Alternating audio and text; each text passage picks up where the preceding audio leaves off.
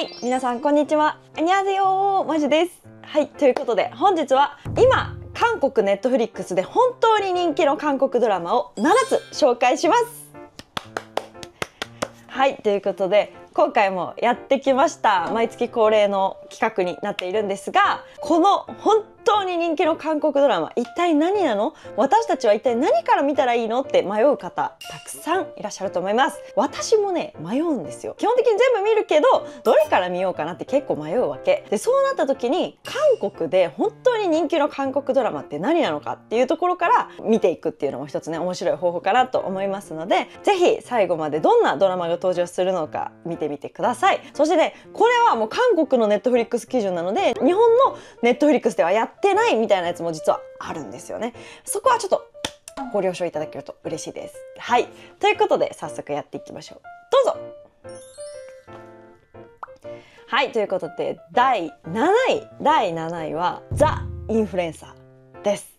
はい、ドラマ「セレブリティ」っていうのがあるんですけど、まあ、そうかなって思う人も多いと思いますが違います。ザ・インフルエンサーっていうのはこれ韓国ドラマじゃなくて実はサバイバル番組です。とあることが理由で今回取り上げました。で、えっと、YouTube、TikTok、Instagram など活躍する77人の韓国大人気インフルエンサーがあらゆるスキルと戦略を駆使して誰よりも多くの注目を集め高額賞金獲得を目指すソーシャルサバイバル番組ということでこれめちゃくちゃおもろい。本当に。でこれなんで取り上げることにしたかっていうとみんなご存知チャン・グンソクさんが出演されてるんですよ。なぜグンちゃんが？みたいな。インフルエンサーじゃないじゃんって思うじゃん。アジアプリンスとしてさもうインフルエンサー第一世代を走ってきたグンちゃんなんですけど今回は俳優チャン・グンソクじゃなくてインフルエンサーチャン・グンソクとしてチャレンジしてるっていうことなんですよね。でチャン・グンソクさんって結構 MC とかで出る機会多いじゃないですか。そうじゃなくてっていう話だったんですよそうだからこうプロデューサーさんもこうみんなの中で一番印象に残っている人誰ですかっていうふうに聞いた時にチャン・グンソクさんっていうふうに答えられているんですねなんでグンちゃんが今までもうこの30年間芸能界で生き残っているのかっていうのがすごくよくわかる内容になってるからインフルエンサーのファンだけじゃなくて今までのグンちゃんのキャリアを知ってるファンの皆さんにもぜひ見ていただきたいっていうふうにおっしゃってました。はい、これは見るしかないでしょう。で韓国でね大人気のイサベさんっていうねインフルエンサーさんも出演されていたりとかもして私もよく拝見してるインフルエンサーさんがたくさん出演されるっていうことなのであのぜひね見届けようかなと思ってます。今絶賛配信中です。まだ全部完結してなくて今収録してるのが8月の10日なんですけど第4話まで出てます。で全7話らしいので8月の13日に完結するみたいなのでもしかしたらこの動画が上がってるタイミングではもう完結してるかもしれません。ぜひお休みを利用して一気見してみてください。はい。そして第6位。第6位は悪い記憶の消しゴムです。はい、もうまさかさここでさ私紹介することになるとは思ってなかったよねっていう。いやもう本当に嬉しいです。こちらジェジュンさんが出演されているドラマです。はいこれはジェジュンさんとチン・セヨンさんが出演されています。でジェジュンさんといえばもう私が10年弱ぐらいお慕いさせていただいている方になるんですけれどもはいジェジュンさんがこの韓国のドラマに67年ぶりにあの出演するドラマということであの本人もいっぱい PR してるしいろんなところでもねジェジュンファン待望のドラマということで心待ちにしていました。で始まったんだけどあの私もちろん見てます。で日本のネットフリックスでは見ることができません。日本では UNEXT で見ることができます。こう独占配信中なのであのぜひね皆さんも追いかけていただけたらなと思うんですけどこのジェジュンさんが出演されているこの悪い記憶の消しゴム、まあ、これどういう話かっていうと記憶を操作できる消しゴムによって人生が変わってしまった男性と彼の初恋相手となった女性が織りなすラブコメディということでなんか最初ちょっと設定はつかみづらい。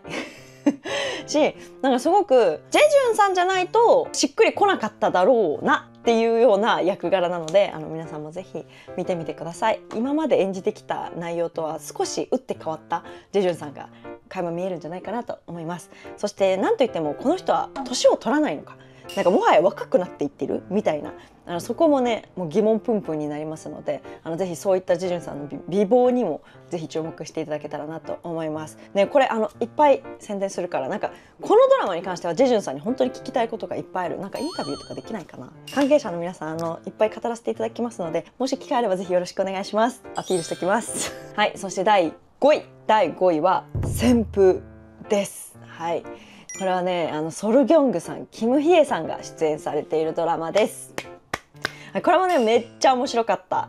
でこれは権力三部作っていう「ザ・チェイサー」だったり「黄金の帝国」だったり「パンチ」を手掛けられた名脚本家パク・ギョンスさんによる7年ぶりのドラマ脚本でもうかなり骨太な政治ドラマです。だから胸キュンとかピチピチキラキラみたいな内容はもう一切ない。もうしっかり政治です。ですごく続きが気になって没入感が味わえるような作品の作りになってるのでサスペンスとか汚職とか政治系権力系がお好きな方にはたまらない内容となってます。私はどっちかというと結構社会派ドラマ好きなのでこの旋風結構好きなタイプのドラマでした。これ以上言うとねちょっとねネタバレしちゃうかもしれないからまた皆さんの需要があればちょっとこちらもね詳しく語っていこうかなと思うんですけどすごく見応え抜群なドラマになっていたのであのぜひこちらネットフリックスで見ることができます。ぜひご視聴ください。マジのメンバーシップ登録は概要欄から。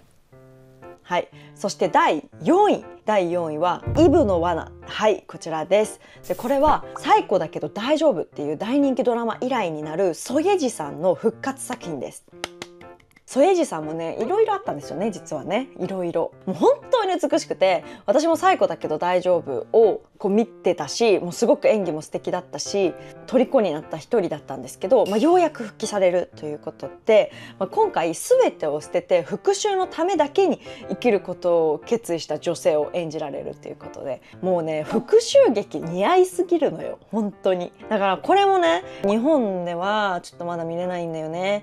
だからあの韓国ではねネットフリックス解禁されたみたいなんですけどそうなのでちょっとこれは残念なんですけどまた見れる時が来たらねあの添治さんの復讐？もなんかすごそうじゃん？なんか日本で言ったら七尾さんと同じような立ち位置っていうか同じって言ったらちょっとあれだな。似てる？立ち位置じゃないかな？悪女？強い女性が似合うなって思っているのでちょぜひねこれも私もこう拝見したいなと思っています。じゃあ第3位いきましょう。トップ3皆さんちょっと予想してますか？結構予想できるかもしれないしできないかもしれない。ちなみに私第1位は外しました。はい。じゃあやっていきましょう。第3位。第3位はスイートホームシーズン3です。はい、あんまりみんな話題にしてないけどスイートホームシーズン3始まってるからね。7月から配信スタートしててこれは日本でも見ることができます。ソンガンさん出演で、まあ、ソンガン君今兵役行っちゃってますからこうなかなかドラマというね枠で見ることができないんですけどこれは兵役行く前に撮ってた作品ということで人間と怪物たちのこう壮絶な戦いを描いた韓国ドラマになっております。でこれはスイートホーム12があってその3完結編となるシーズン3ですね。でシーズン1めちゃくちゃ面白かった。もうめっちゃ虜になった。はい。シーズン2ちょっと微妙かもみたいな。シーズン3はいこれおもろかったです。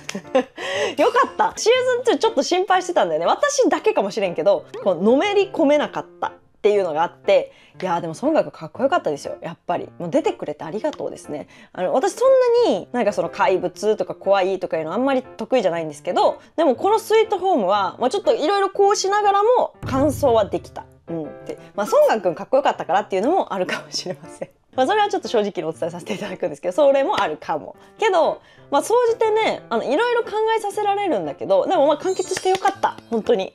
うん面白く見ました。なので皆さんもぜひ気になる方はご覧ください。さあ第2位。第2位はミスナイトミスデイです。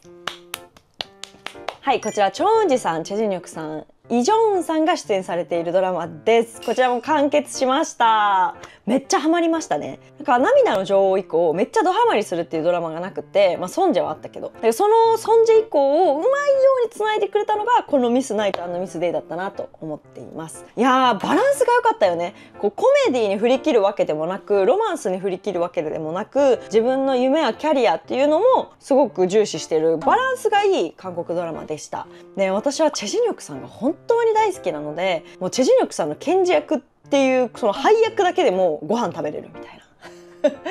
もう傲慢と偏見のチェジニョクさん、まあ、そういうドラマがあるんですけどめっちゃかっこよかったんですよ。その傲慢と偏見時代をちょっと思い起こさせるような内容でめちゃくちゃ良かったです。そしてチョンウンジさん出てるんだけど2人で1人を演じてるわけ。だからイ・ジョンウンさんっていうその昼間担当のおばちゃんがもうめちゃくちゃいい演技してて本当にすごかったです。